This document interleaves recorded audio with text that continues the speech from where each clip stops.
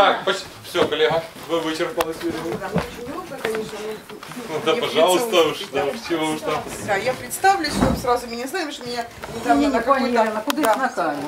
Та я, я її бачу До спокійно. камеры ближче. Меня, да, просто недавно на каком-то митинге обозвали Александром. Меня зовут Елена, да.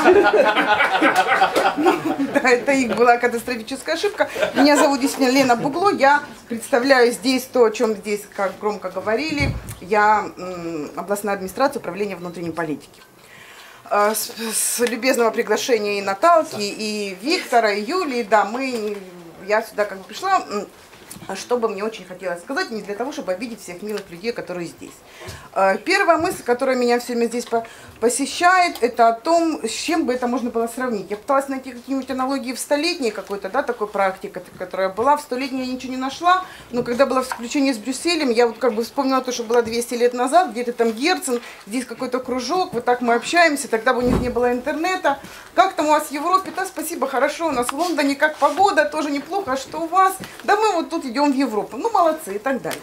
Ну, насчет себя, как бы, мне вообще очень странно, вот даже сам лозунг «Мы- «Мы европейцы» лично для меня, потому что, как бы, для меня такой вопрос не стоит, он вообще совершенно странный. С таким же успехом можно было написать «Мы мальчики», «Мы девочки» и так далее, потому что я так для себя, мне никогда не стояло такого вопроса, европеец я или нет, это все равно, что э, белый я человек или нет, принадлежу я к белой расе или нет, я знаю точно, что я европеец, что я живу в Европе, для меня никогда не существовало проблем европейских ценностей. Как бы то э, в выборе работы, профессии, я работала журналистом, для меня никогда не было проблемы цензуры, я всегда писала только о том, что я хочу, и никто никогда не запрещал мне писать то, что я хочу. Ну, правда, конечно, я работала на седьмом канале. Не, ну это было, я же работала в 2008 году еще. А вот, э, точно так же про свободу слова. Э, Про европейские ценности расскажу вам такой совершенно последний случай, который произошел в Харькове уже без Евро-2012. А, Несколько недель назад совершенно волшебным образом в областной больнице оказался европеец, 70-летний норвежец, который невообразимым образом попал в Украину. Его просто привезли, положили перед областной больницей вместе с чемоданами, и люди, у которых он снимал квартиру, уехали.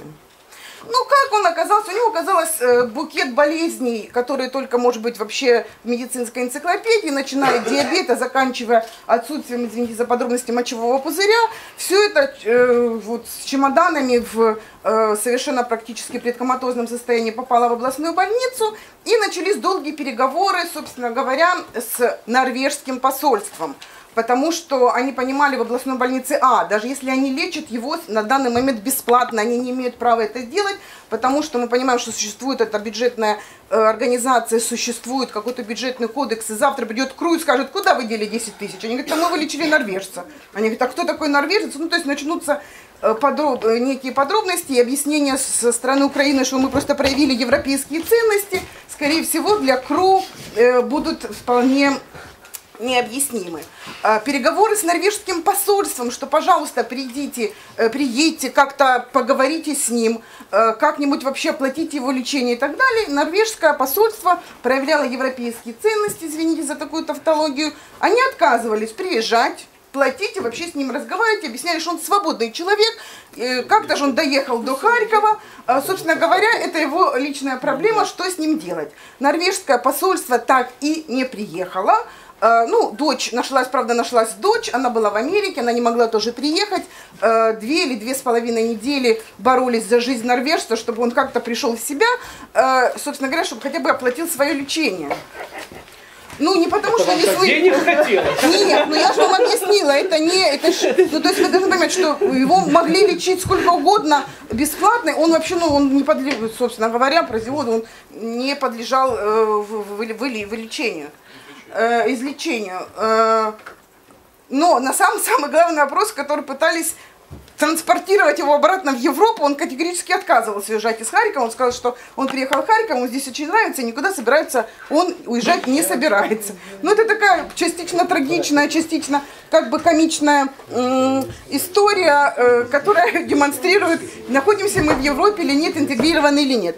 Я хотела вот обратить внимание, мы сейчас, если мы посмотрим с вами за окном, мы находимся в Киевском районе, одном из центральных районов города Харькова, и за окном, извините за такое как бы О, литературное слово. А представляете, что происходит в Кигичевке, Сахновщине, Зачепиловке, ну это те районы Харьковской области, про которые я только знаю. Европейские ценности там не то, что не дошли, местное самоуправ- самоуправление, реформа их мало интересует и так далее и тому подобное. Поэтому я совершенно согласна с девушкой, не помню, конечно, как ее звали, которая в Брюсселе, которая объясняла нам, что наша Европа заключается в нас самих, мы должны действительно распространять, если собравшиеся люди здесь действительно исповедуют европейские ценности, мы совершенно уверены в себе в том, что мы европейцы, мы должны как-то приносить эти э, ценности не только в центре города Киева, который все готовы за евроинтеграцию, не только в центре города Харькова, и, собственно говоря, в городе Харькове, в отличие от Киева, мы все и так уверены, что мы в Европе, а мы должны же это приносить и, понимаете ли, там, где не ступала еще нога цивилизации. Зачепиловку. Вы просто, да, вы совершенно напрасно утрируете и смеетесь, понимаете? Вот, ну, просто вот недавно... Да, э, дело в том, что вот это, несмотря на то, что работает такая некая программа, исправьте, если я неправильно ее называю, что это Розвиток ООН, ориентированный на громаду, там есть какие-то, конечно, программы, существуют, конечно, программы відродження, существует программа Библиомист, которая тоже достаточно э, активно впроваджується, достаточно приносит интернет в библиотеки, в сельские, и есть позитивные практики, когда ну, жизнь действительно немного налаживается после этого. Но существуют, понимаете, как бы моменты не то, что там только дороги дураки, а действительно люди живут совершенно другой жизнью с тех пор, как ушли, понимаете, может быть, белые, у них еще ничего не изменилось в их жизни. Поэтому, наверное, ни в какую. У них.